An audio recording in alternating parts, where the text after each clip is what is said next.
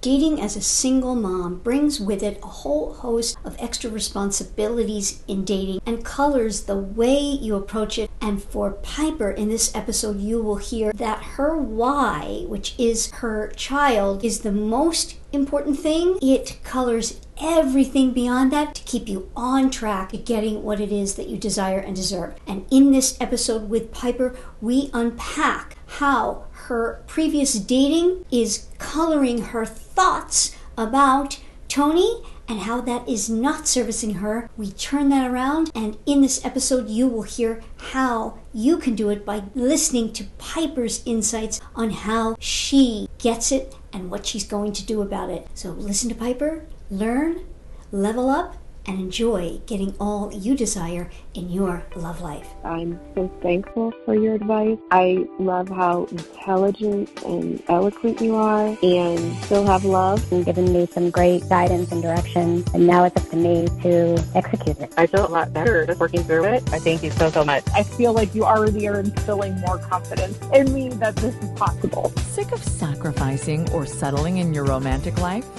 Welcome to Make Him Wonder with Coach Paula Grooms, where women struggling in real relationships ask the expert.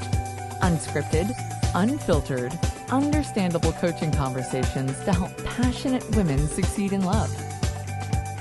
Hi there, and welcome to Make Him Wonder. I'm your host, Coach Paula, a dating and relationship coach, licensed social worker, and author of the book, Why Won't He Commit? How a Man Decides to Make You the One. My guest today is 37 year old Piper, who is dating 36 year old recently divorced Tony. Piper is concerned about Tony's interest and ability to commit to a relationship again. She wants my opinion on whether or not she should continue to see Tony, and if so, when it would be appropriate to introduce him to her child. Welcome, Piper. Hi, Paula. Thanks for having me. Absolutely. How old is your child? She's one. Oh, my goodness. So, Yep.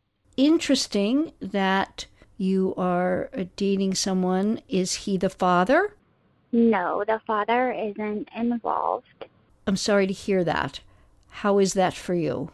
He was abusive, and I'm I'm happy he's not involved. I'm relieved, to be honest. Hmm I'm sorry about that. Is he involved with your child? No, he's not. Uh, he sends child support, but and I've offered for him to see her to meet her with supervision. He declined, and he didn't accept paternity. So he so he's not on the birth certificate. I see. I I mean, I would love to meet someone, a good person, and get married. Um, and I would love, I would love for that to happen before she's older, to hopefully just have a really positive male figure in her life moving forward. I like to hear that. That's good. So it's a girl. Correct. What does Tony know about her and about your past situation with the father? So he knows it was a ex-boyfriend that I became pregnant with. He knows just vaguely that he wasn't nice verbally. And he has actually met my daughter. And I know maybe that isn't ideal but um he's met her two or three times and she likes him. He likes her. I don't i don't have any red flags that come up when he's with us Interesting because your intro says she wants my opinion on whether or not she should continue to see Tony, and if so, when it would be appropriate to introduce him to her child. So, in between us writing that and this time, you actually have introduced them. Am I getting that right? that's correct i apologize uh for the confusion i think uh i i think when i wrote in there i meant vaguely like when do i introduce him to people like how much do i talk about her since i am still kind of dating other people because tony hasn't made it exclusive so um that's what i meant by that paula I gotcha. Okay.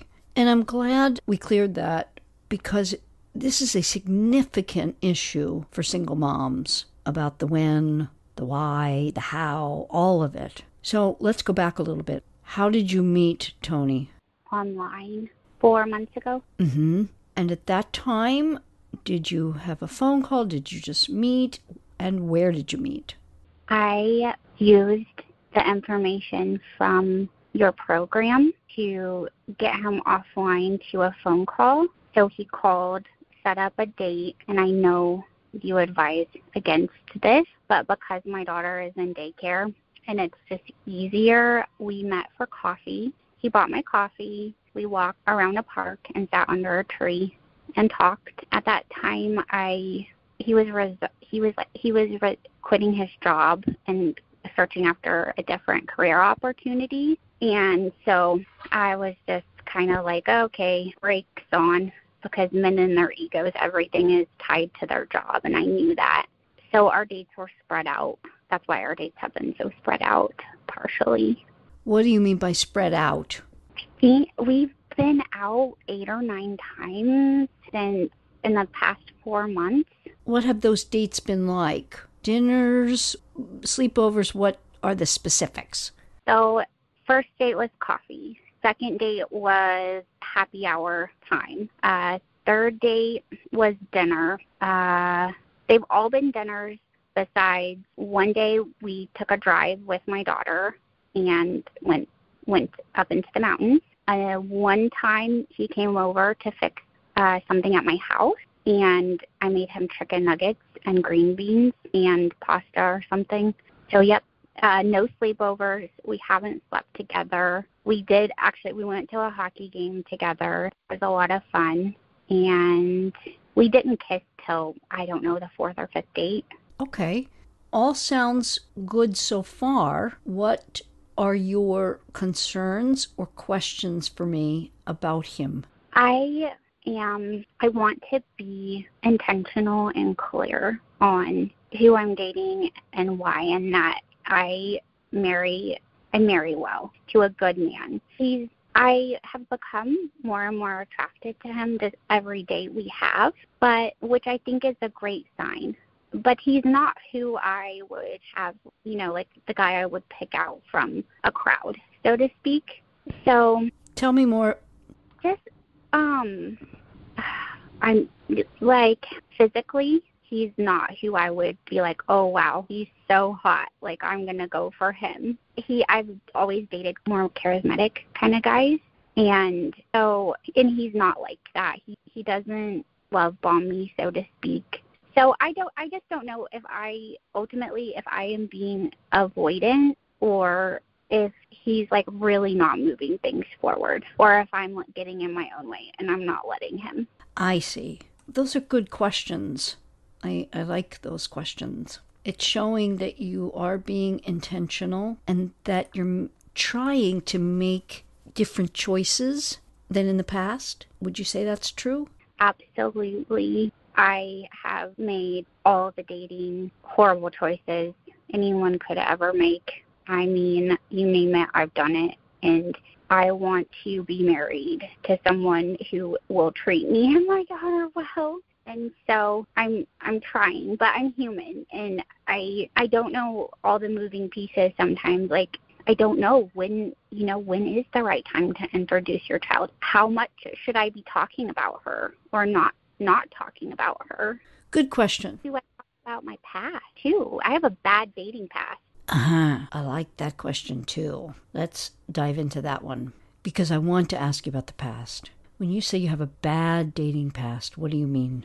I think so. I I had and intend to still have an anxious avoidant relationship um, attachment style. So I mean, like the way I grew up, it was just like I was expected to get married when I was 18. Grew up very fundamentalist, like Christian, in a fundamentalist Christian home. So when I turned 18, I went nuts and I went the other way. I didn't want to be committed. I didn't I just wanted to like go out and have fun and and then all the good guys for years I would push away or I wouldn't be attracted to them. I always dated the bad boys, the guys who like slapped me, drank too much, name called, um, just very like, and I never stuck with anyone for very long. I just ran away. So I just, I didn't love myself at all.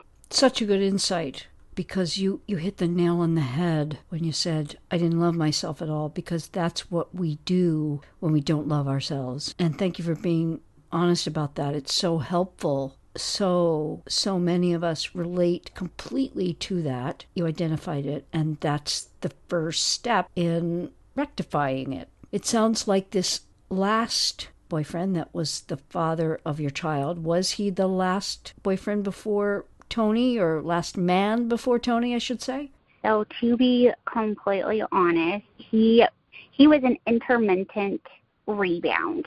He's very I know that the narcissistic border is wide, but he's pretty far on the extreme narcissistic, just like a good example of that. Are we talking about the father of your child or the rebound after the father of your child? The father of my child was a rebound. I see. How long were you with the boyfriend before him? Uh, not long at all. Um, the one before that one, I was with for nine months and got my heart broken. It was just during COVID, but he was talking marriage, engagement, all that good stuff. And then he got into an accident and broke his neck. And I spent like three months taking care of him, you know, being his mother. And so it just ended badly. It, and it was COVID. It was a really stressful time. I'm so sorry. Okay, so kind of go on from there that the father of your baby was a rebound and he had some terrible characteristics and it was an accidental pregnancy. Correct. And I have I I knew him for years. I knew him since I was 22.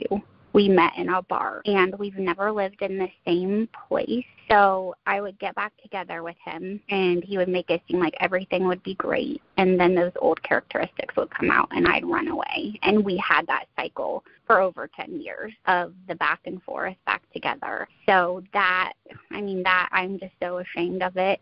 But he purposely he was trying to get me pregnant every every time we would get back together. And because of what was going on in my life i had some health problems going on just a lot of stress. I was completely out of it. I didn't realize until we were we were meeting i was going to see him that i was ovulating. And at that point i just was so burnt out from dating the bad first dates the feminine guys, like the selfish guys, just and not really having the tools to know how to date. I, I think I was just so burnt out. I didn't care at that point. I just thought, well, whatever. I'm I'm getting older and I've always wanted to be a mom. Like I'm not gonna stop it. But I did I told him specifically, I said like if you do that, I'm going to get pregnant. And sure enough, two weeks later I had a positive pregnancy test. So I'm not sure it was exactly accidental, but it was not planned. Thank you for sharing that. You're welcome. It's so important for you to release it and look ahead to the beautiful life that you're going to have, that you likely have with her yourself, and that you will get all that you desire with a good man because of this recognition. Thanks. Paula. I I mean, as ugly as a circumstance it it it was, I my daughter changed my life and she really she saved my life and I know that sounds just so just ridiculous, but she's the best gift ever. I mean, I think she's taught me about love and like I don't know. I don't know if I would have been able to love myself the way I do now if I ha- if I didn't have her. Yes, it's meant to be. It's wonderful. So the pregnancy, you decided then, and he decided to give up his parental rights, etc. Is there anything about that you feel would be helpful for me to know going into any of this with Tony? I'm not sure, just that it. I don't think so. I think you know everything. He hasn't surrendered his parental rights he just doesn't have them. I mean, he electronically sends me money every month, but it's not court ordered. He could stop doing that at any time. I see. And is that okay for you? I would love for him to surrender his parental rights. And I'm not sure at what point at what point that comes into the conversation. But I do know with his personality, I think it needs to be his decision. Or if I even need to be worried about that right now. Are you afraid of him in any way? I am. In what way? Well, um mentally I think just because he get, can just get in my head and just manipulate my brain to think like or I allow him to. I haven't talked to him since I was 10 weeks pregnant on the phone. I talked to him one time on the phone is all. Uh cuz he just has this way of like manipulating and getting in my head and uh physically I was scared of him. I'm not anymore because of the distance and I have been scared of him taking my daughter. I was really scared while I was pregnant. But he hasn't I see. yeah. He hasn't shown any interest. I don't think he has an interest in raising a child. Um Why do you think he continues to pay? well, I don't know. Maybe he cares and he wants to be involved. I think mostly it's because maybe part of him, like he's not all bad, right? Like he has a noble place in him that want is accepting responsibility for and that's great. That's fantastic. Um, the other part of that is I was living in a state when I had her where it took a percent of his paycheck, and he was not considering the mom's income and I had filed for child support in that date. I've since dropped it. It didn't go through. But he would have been at max child support and he's paying half that.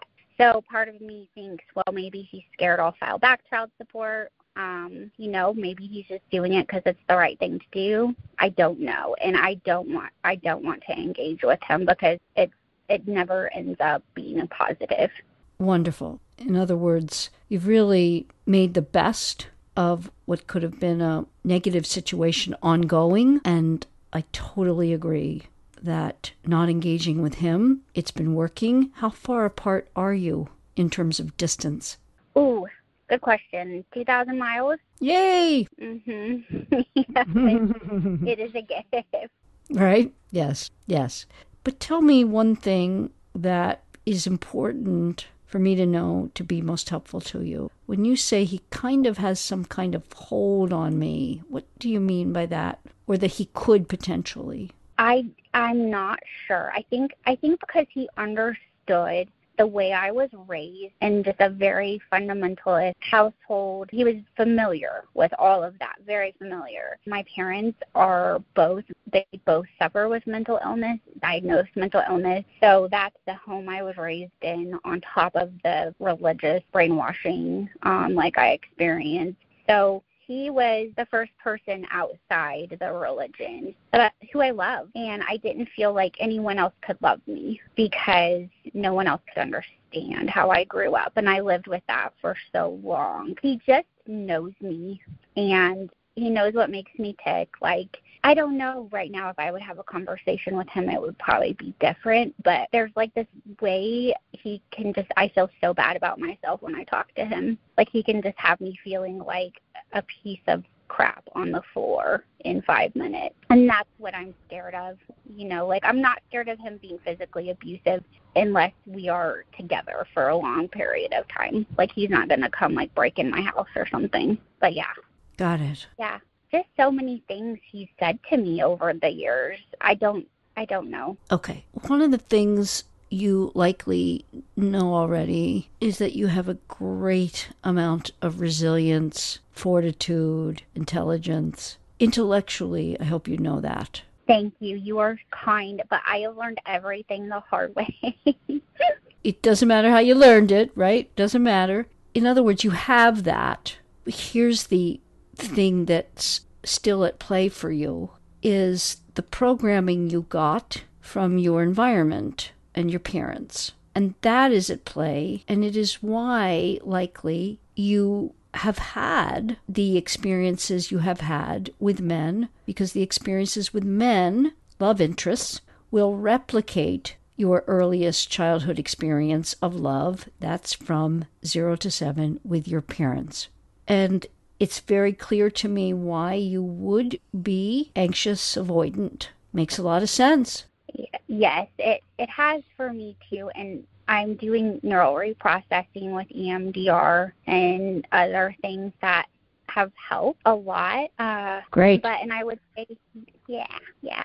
When we continue to work on our programming, which is always with us, it's like a ticker tape running behind our eyes, so to speak, in our brains. You think about the old style Wall Street ticker tape. That's the old programming. And without going into depth about your parents both struggling with mental illness and being in a fundamental environment, what do you think the earliest programming for you was? It was I'm not worthy. I'm gross. Uh, nothing I do is ever good enough. I'm always going to be a sinner, just extremely hard on myself, like masculine energy. Just like your value in love is what you give to other people. People pleasing, like I needed to make everyone else happy in my religion, uh, to the guys I dated, I mean, to my parents. And then, you know, just like a chronic period of time where I wasn't getting the validation, just basic. And, and I know my parents did the best they could.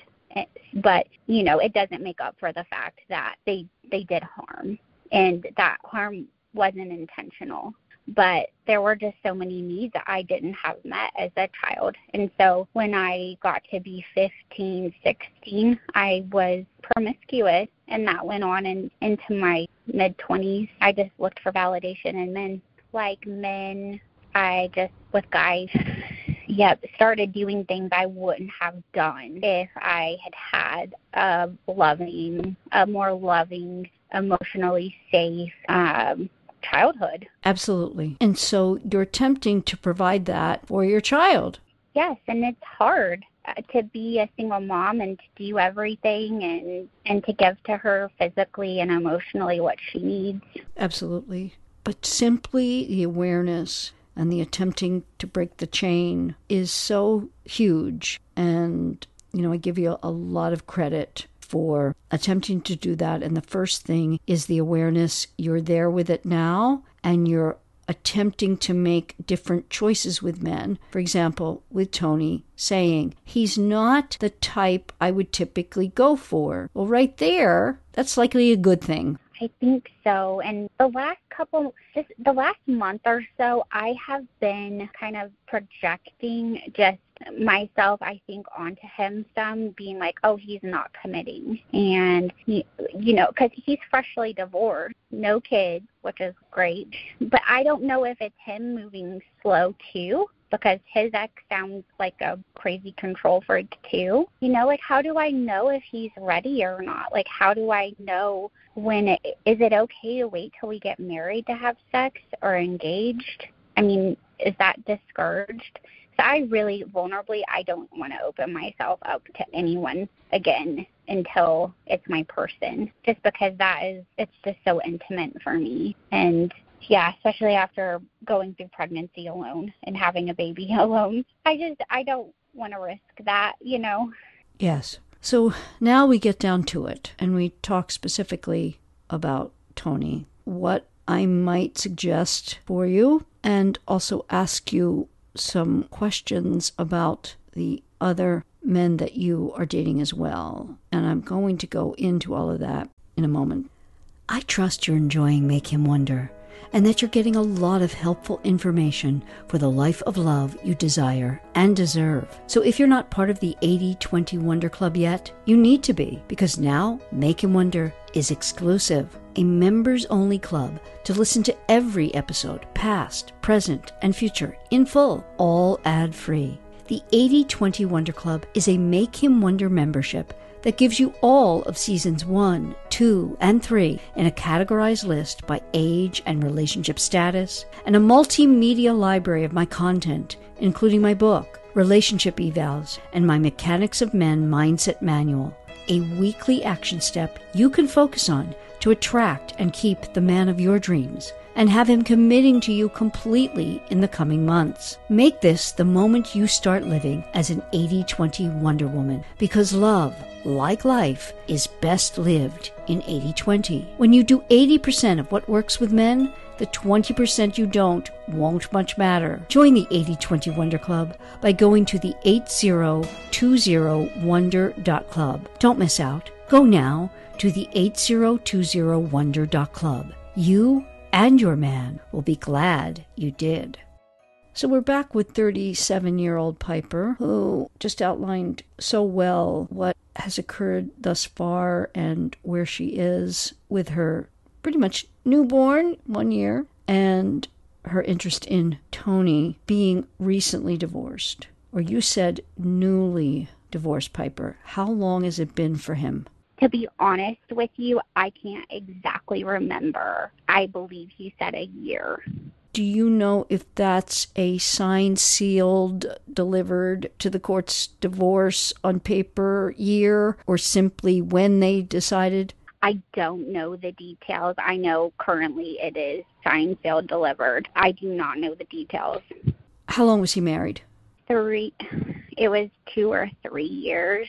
I know they got married uh, during COVID, and she asked him to marry her, and it wasn't like it wasn't like a wedding. They just got married.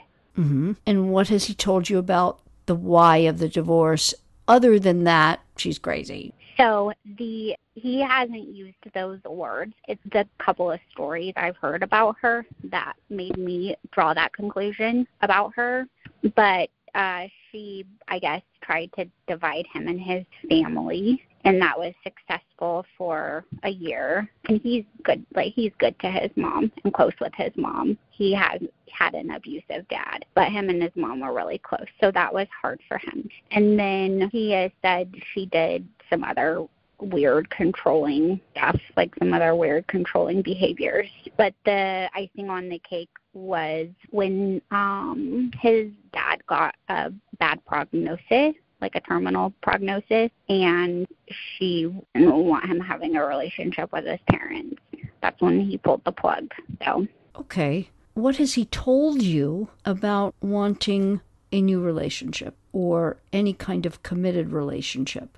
Um, he's told me he wants a family and he wants to be married. He's asked me oh questions like how how long do you want to date before you get engaged? Like how would you want your potential fiance to go about picking out your ring? Like would you want to go with them um like how how long would you want to be engaged before you got married but this is kind of where i get into that fight or flight response when he talks like this and he doesn't talk like this all the time but it's like i don't know if he's love bombing me like my ex boyfriend in 2020 was or if he is sincerely interested in pursuing me like maybe i'm not the end all be all for him. Maybe he's filibustering his time. And to be honest, I'm not dating enough other guys. I'm not making time for it, and I know I should be. He talks about the the future Great. Why is it that you don't believe him? Because everyone I have ever believed has let me down. Exactly. That's such a great answer because, see, you have to stay there with it that that's why you don't believe him. It has nothing to do with him. It's you choosing to believe that is the issue. It has to do with everyone else except him. Okay. Okay. I mean, he hasn't done anything. Like I have, I have not. I have had zero red flags, and I'm very red flag sensitive. Uh huh. I guess that's Yep. helpful. That I mean that's super helpful. How do I soften then some? Because I'm kind of rigid. Like my schedule is tight. I really don't want to make time for him because I'm away from my daughter. How do I know when the right time is to like open myself up more? What do you mean by open yourself up more? Like to be more vulnerable, to be like more receptive, to I don't know, trust in what he's saying. I hope that Mm. makes sense. Again, that comes from you and not him. Because what's happening for you is your subconscious is telling you, really like shouting at you from behind your eyes, deep within you, shouting, You can't trust anyone. No one's going to choose you. Love is not to be trusted. Love is controlling. Love is all the experiences you outlined for us earlier about your childhood. That's what your experience of love is. Why would you trust it? You see? I see. Absolutely. You're right. So that's where your work needs to center is you feeding into your subconscious a reparative experience so that you can trust and make your choices from your intellect, not your subconscious. And we do that via sleep meditations, via our self talk, like affirmations, writing, meditation, but seriously focusing on it in order to repair it so that you can allow him in. Because if you just tell yourself intellectually to allow him in and be more vulnerable, that doesn't change how you feel it, experience it, all of it, and you will just be left anxious and really not able to do it very well. That makes sense. And I don't take time for myself. And that again is your programming. Because we don't take time for ourselves when we don't feel worthy of it. And you were programmed not to feel worthy of it. Okay, got it. Wow. I didn't think about it that way. Does that make sense? It makes perfect. Mm-hmm. And it is a challenge. So we do it very incrementally and step by step. It is why when I'm working with someone in a program weekly, we go step by step with what the focus needs to be on. And for example, if you have this issue of not feeling worthy, you want to take something whereby you'll feel worthy doing it and add in listening to stuff that will be helpful for you. And then additionally, you need to be doing sleep meditations. In other words, you take something you need to do, sleep, and that is the best possible time to reprogram your subconscious. And we do the meditations to get into the subconscious what we need it to be programmed with worthiness, value, lovability, etc. You mean like binaural beats, like the YouTube videos? I'm not one for the binaural beats. I don't believe that that will be the fastest way into your subconscious at all, and it's not really reprogramming it. Okay. No, it's I am affirmations of what you need, not you are affirmations. I am. What we put after I am, we become. We need to be doing that in our sleep and awake, whereby we take our intellectual understanding of what we need and feed it to our subconscious. If we were really able to, at the end of each day, analyze our thoughts, a vast majority of them would be negative. And even not overtly negative, but the feeling of we're not quite enough, maybe we didn't do quite enough, we didn't measure up in some way, shape, or form, we're lagging behind, we didn't look right, we didn't do right, we whatever. So we need to feed ourselves with positive affirmations I am. And you can start with what you know intellectually about yourself so you don't resist it. When I said to you, you are incredibly resilient, do you believe that? I know logically I am, but no, I don't believe it. I mean, I know I am though. So yes, yes, I do, I guess.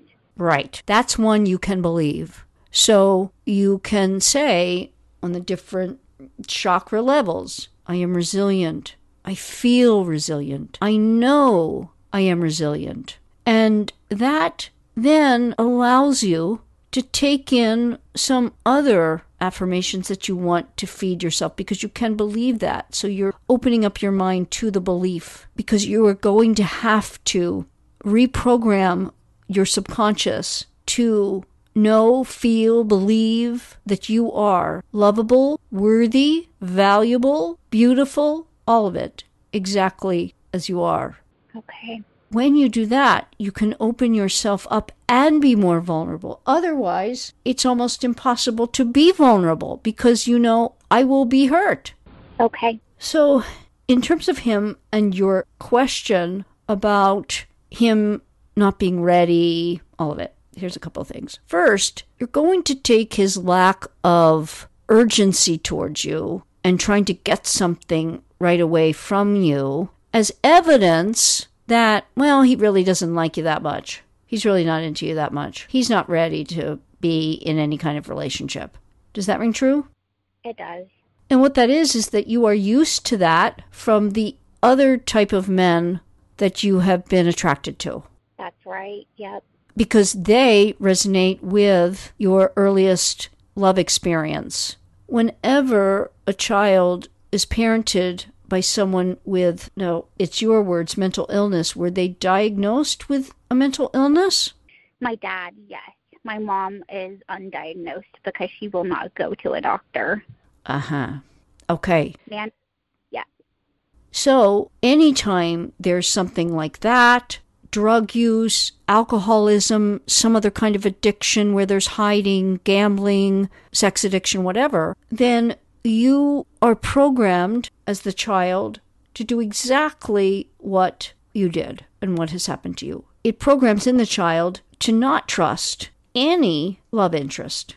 But as humans, needing exactly what we don't trust, when someone does something like push through all barriers, push you to do things, show overt, almost pressured interest, what can happen in our minds is that that's evidence of real love. And that's what it should be like and feel like. He's not doing any of that. He's not. Nope. And I mean, even my ex boyfriend from 2020, he was a way step above baby daddy. And I know that we're not good for each other. We weren't good for each other. However, Quick one, you might be surprised to know that there are over 150 real life love and relationship coaching conversations just like this one ready for you to hear right now. And you can have access to all of those by looking at my pinned comment below. Yes, the 80 20 Wonder Club is yours for a full month for free by looking at that comment and taking advantage of this wonderful offer for you to level up. Whether you're in your 20s, 30s, 40s, 50s, you're in a divorce situation, you have a situation ship, or you want an ex back,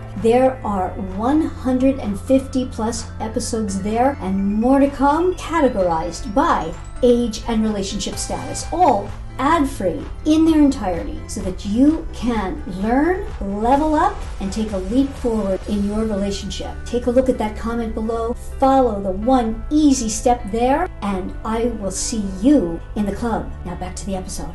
a lot of even the patterns within our relationship, I mean, like, I didn't speak up. I didn't say, you know, I didn't express my desires. I was still living in a lot of old behaviors from dating. And he was love bombing. I mean, it was flowers, it was gifts, it was romantic getaways, and those things. So, I mean, I think with Tony, it's just, it's polar opposite of what I've had, you know, and it's unfamiliar. But I am growing in in my attraction to him. I mean, I would miss him if we stopped talking, you know.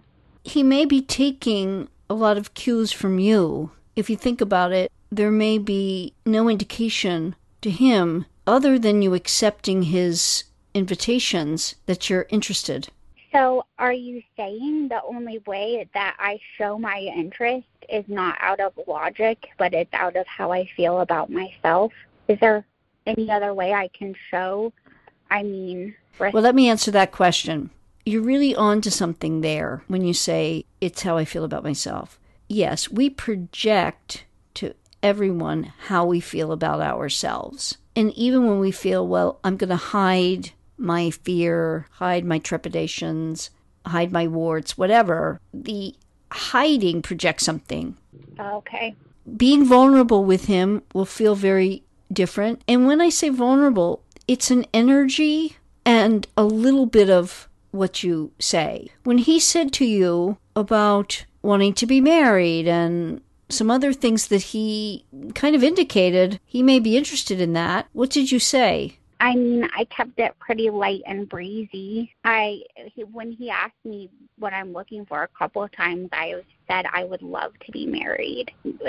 I just basic things like for the ring, I was just like, well, you know, my best friend like knows what I want, you know, because he asked me. He said, I'm sure you have a specific ring in mind you want, and I said, yes, yep, I do. And I mean, he asked me like where I wanted to like be married, if I wanted a destination wedding, and and I I expressed to him what I would want. I mean, I wasn't like getting really into the conversation, but I I guess but I was more reserved with it.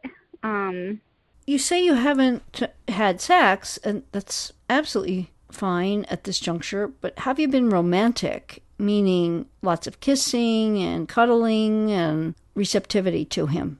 Kissing, hand holding.